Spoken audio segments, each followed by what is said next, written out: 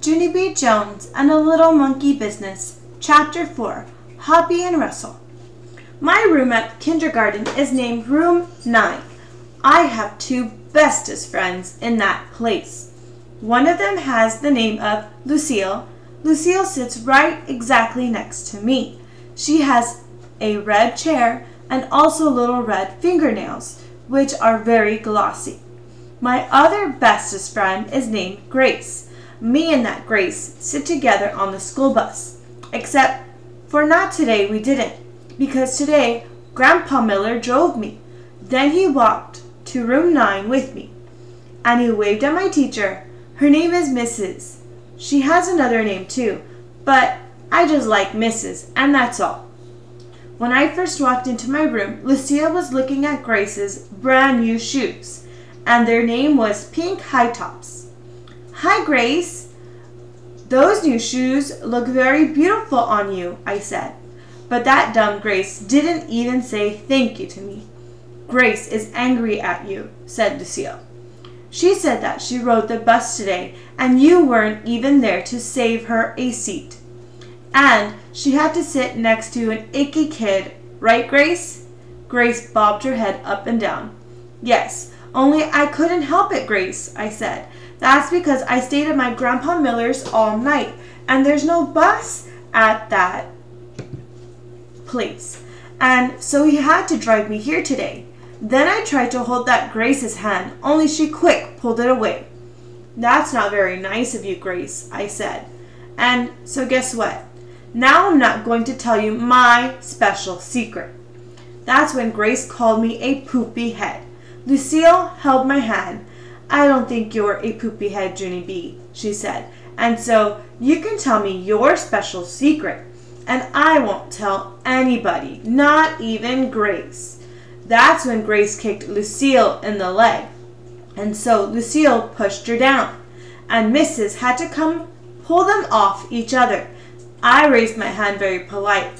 I wasn't involved, I said to Mrs.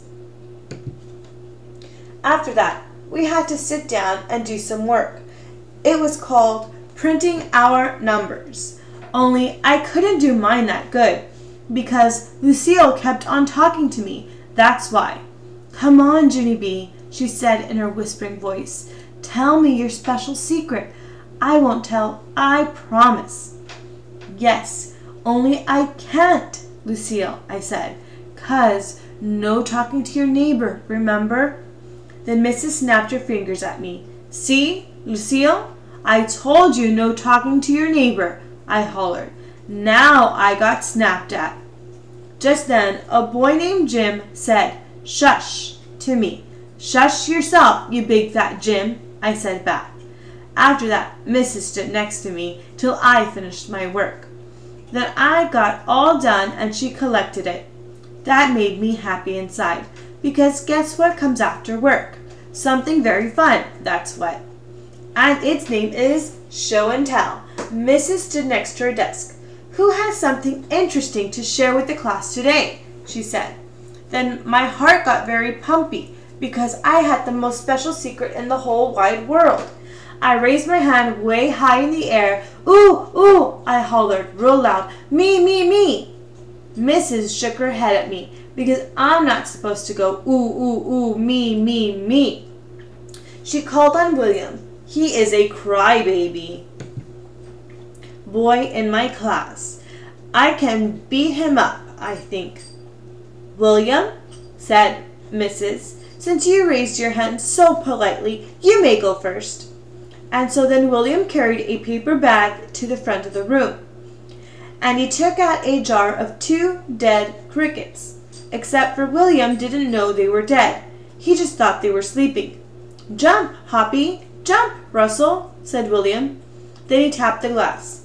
Hey, wake up in there, he said. After that, William started shaking the jar all over the place, and he wouldn't stop. Wake up, I said, he shouted. Then Hoppy and Russell started falling all apart, and Mrs. had to take the jar away. That's when William started to cry. And he had to go to the nurse's office to lie down. And so then I raised my hand way high in the air again, because guess what?